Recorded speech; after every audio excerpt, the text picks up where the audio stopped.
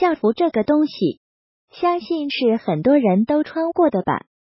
不对，不应该是很多人，是基本上所有人都穿过校服的吧？现在为了防止攀比，基本上的学校都是要求他们穿校服的。而且说实话，一般来说，校服穿起来也是非常的舒服的。今天小编就带大家看看不同国家的校服吧。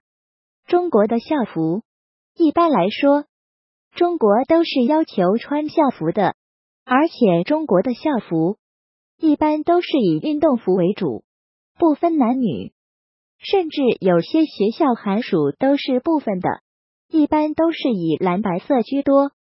当然了，也有红白、绿白、全白、全蓝这几种颜色。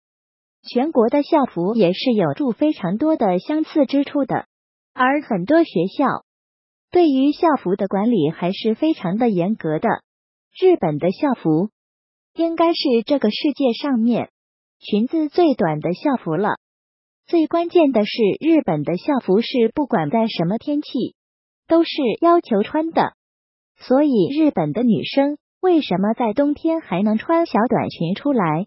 那是因为从小锻炼的。英国的校服绝对是世界上最正统的服装了。英国中学的校服一般都是的西装皮鞋的标配，非常的帅气。非洲的校服不多说了，大家自己看吧，其实还是挺不错的。那么。你们最喜欢哪个国家的呢？